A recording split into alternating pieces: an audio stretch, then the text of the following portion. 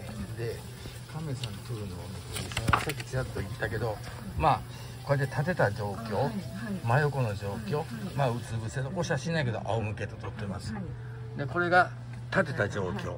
でこれと真横の状況ですね。背高があって腹向頭があってでここが肺です。肺高があって腹向があってこれが肺。でまあ肺はあの空気があるから黒く抜けてほしいんですけどまあ結構抜けてるからいい感じだと思います。一般状態が落ちると結構肺が白くなってさ肺炎になっちゃう子結構いるんですよ。特に冬眠焼けの子がね。横から見た感じと真正面からまあ、真正面はちょっと少ないように見えるけどちょっとこの子ねちょっとこ甲羅の形がちょっといびつ。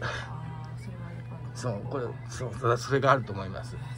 うんだからほんとはもうちょっとふっくらしてるからもうちょっと肺の部分が大きく見えるんだけど横向きで見るとまあそれなりに正常なんだけど真正面から見るとこれだから肺が異常というよりも甲羅の形がなんかちょっといびつですよ。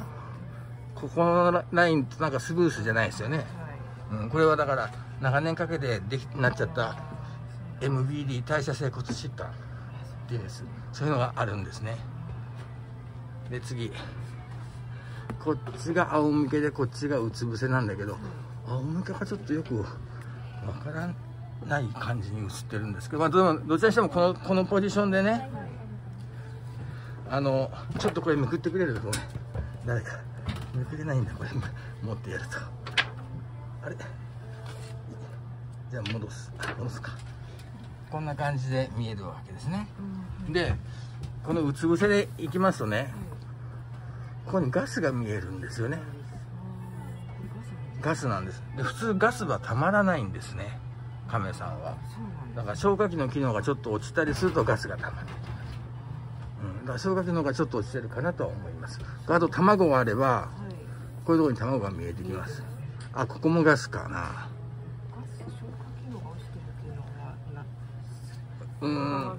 まあ消火器ということは胃とか腸とか肝臓とか膵臓とか。まああるかもしれませんね。でえー、っと一人来れんかな。ちょっとこれも持ってて。これ写しといてね。でね。えー、っと正常と。あった。はいありがとう。でこれが正常の卵がある状態、はい、そうするとさ8個とかでしたっけ、はい、そう結構10個ぐらい。これが正、ま、丸いじゃないですか、はい、これが正常、でこちらが卵停滞と長細くなっちゃってるでしょ？そうですね。丸じゃない。でしょ？こういうふうになってきちゃうんですよ。去年出てきた卵本当にこんなピンポン玉じゃなくて楕円楕円でした、はい。うん、であのそう水亀はねもともとねちょっとこれすいませんヘルマンリクガメリクガメだからちょっと丸くなってる。で緑ガメの方はちょっとこれよりももうちょっと楕円に出てきます、うん、だけどもっと楕円になっちゃいます。大きさがまちまちになってきたりもするし皮が薄くなってきたりもする。そういうことなんですよ。ででも今んとこさ全然ないですね。